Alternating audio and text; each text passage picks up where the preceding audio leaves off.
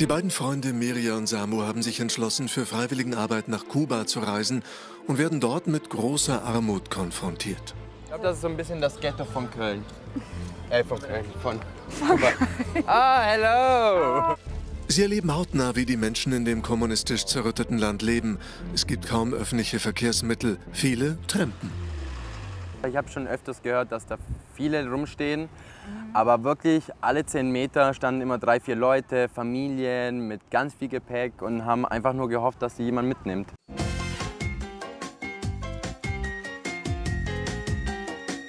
Das ist Projekt Kuba. Die Germanistikstudentin Miri aus Düsseldorf und ihr guter Freund Samu, der in der Gastronomie in Köln arbeitet, sind in einer ärmeren Gegend von Havanna unterwegs. Hier wollten sie gestern ein Maisbrot kaufen und waren auf Ablehnung gestoßen. Äh, Uno. Oh. Ja, ich glaube, der mag einfach deine Haarfarbe nicht.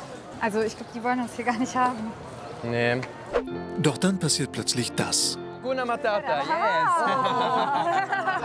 Der kam ein junger Kerl zu uns hingerannt und meinte so, äh, ah, cooles Tattoo und hat dann auch die ganze Zeit Hakuna Matata ges gesungen und äh, der hat uns dann mitgezerrt. Hakuna Matata. Ich glaube, der zeigt uns jetzt seine Wohnung.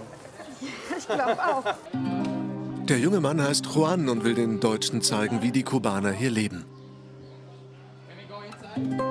Und dann sind wir tatsächlich in sein Der hat uns da Wohnzimmer. Küche und Sch- Schlafzimmer, alles in einer Wohnung drin gewesen. Hütte. Hütte, ja. Hütte ohne Fenster. Es war, es war krass. Oh, upstairs. Ach krass. Boah, ich kack ab. Eine schmale Holztreppe hinauf geht es ins Schlafzimmer, in dem die komplette Familie schläft. Sis, sis, Sei, sei dorme. Dormi qui. Es hat alles sehr gemufft, es war alles sehr alt, sehr runtergekommen. Die Matratze sah aus, als hätte man sie einmal durch die Straße gezogen. Doch plötzlich wird es hektisch. Als wir dann oben waren, haben wir halt schon unten gehört, wie die anderen Mitbewohner oder Nachbarn halt so einen Stress geschoben haben, dass wir halt ganz schnell wieder raus mussten, weil wir nicht wussten, was sonst passiert. Juan macht einen besorgten Eindruck. Die Familienangehörigen haben ein bisschen Ärger Freundin, gemacht, äh, ne? da war eine, die Freundin von ihm, die äh, dann gesagt hat, nee, die müssen jetzt raus, ich möchte das nicht, ich möchte das nicht. Wir sollen gehen und zwar bitte ganz schnell.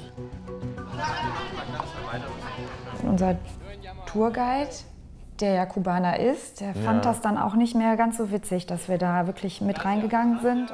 Also wenn schon ein Kubaner sagt, jetzt sollten wir Schluss machen, dann sollte man auf jeden Fall Schluss machen. Doch diese Eindrücke haben Miriam und Samu schwer bewegt. Boah, das war jetzt richtig Also krass. ich bin so geplättet, dass ich gar, ich finde gar keine Worte gerade. Ey, wie sah es da aus? Ich finde gerade wirklich Diese keine Matratze. Worte. Also es war schon einfach ein, ein Augenblick, der mich mal kurz zum Stocken gebracht hat. Der nächste Tag. Miriam und Samu wollten auf Kuba eigentlich Freiwilligenarbeit mit Kindern machen. Neuer Tag, neues Glück.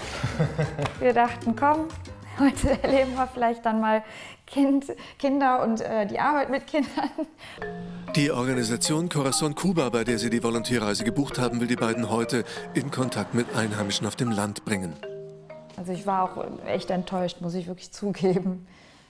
Weil natürlich auch viele von zu Hause immer gefragt haben, was und wie ist die Arbeit mit den Kindern? Und du musstest jedes Mal wieder aufs Neue sagen, ist nicht. Sie wollten helfen, so wie Valentina und Sebastian, die wir letztes Jahr bei ihrer Freiwilligenarbeit nach Kambodscha begleitet haben. Ich komme sehr gut mit Kindern zurecht, solange es nicht meine eigenen sind. Ich kann mich nicht erinnern, außer vielleicht Halloween, wann mich mal ein Kind umarmt hat. Einfach so. Und zu Halloween hat es halt eine Tüte voll Süßigkeiten bekommen. Ähm, das war ein wunderschönes Gefühl. Genau dafür waren Miriam und Samu gekommen. Nach einer guten halben Stunde Autofahrt erreichen sie das im Westen der Insel liegende Vinales-Tal.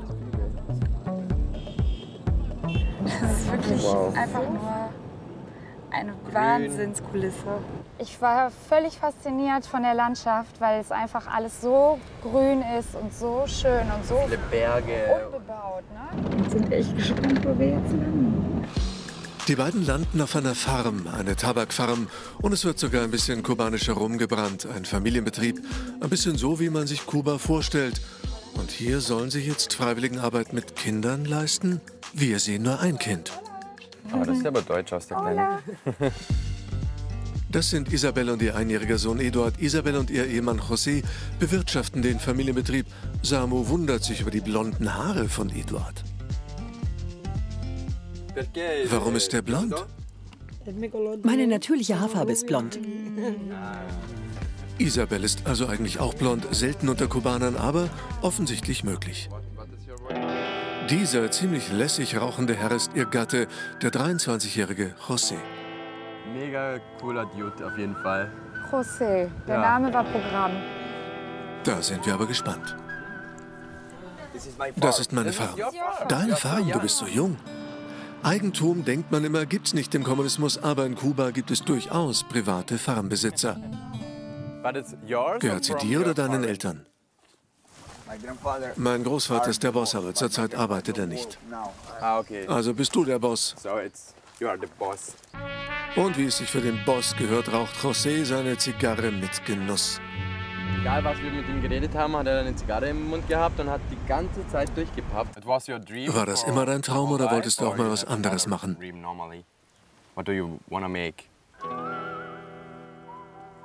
Welchen Job? Bloß nicht hetzen lassen. Hier ist es sehr entspannt. Man hat keine Probleme. Da drängt sich Mirja eine Frage auf. Wie viel rauchst du am Tag? Vier bis fünf. Zigarren am Tag und eine halbe Flasche rum. Und dann schläft man gut.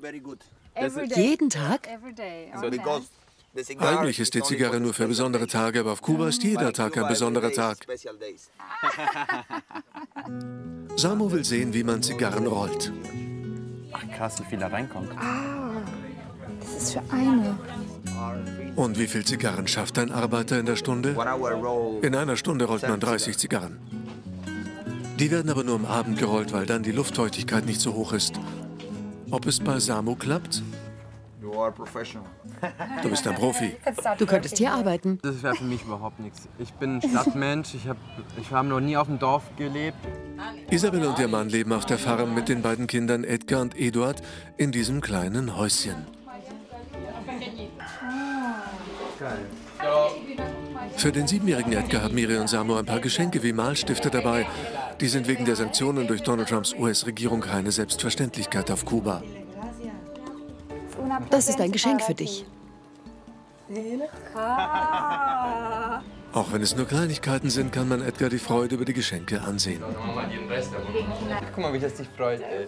Die Augen, voll. die, die funkeln. Auch seine. Bleistifte, wie die die anguckt. Mega cool. Der war echt, also der hat auch die ganze Zeit, wo wir dann noch da waren, die ganze Zeit gespielt. Der war die ganze Zeit glücklich, hat Bilder gemalt. Als Andenken malt Edgar sofort ein Bild für Mirja und Samu. Kannst gerne ein Foto machen. Endlich haben die beiden ein Kind zum Lächeln gebracht und genau dafür waren sie doch nach Kuba gereist. Deswegen bin ich da hingegangen und ich habe mich darauf vorbereitet und wir haben auch Geschenke mitgebracht, aber es gab keine Kinder. Ihre freiwilligen Arbeit auf Kuba haben sie sich definitiv anders vorgestellt. Miri und Samu kriegen aber auch noch voll eins auf die Nase. Ich habe Angst bekommen. Die einzige Sportart, die ich meistens mache, ist Essen. Morgen bei TAF.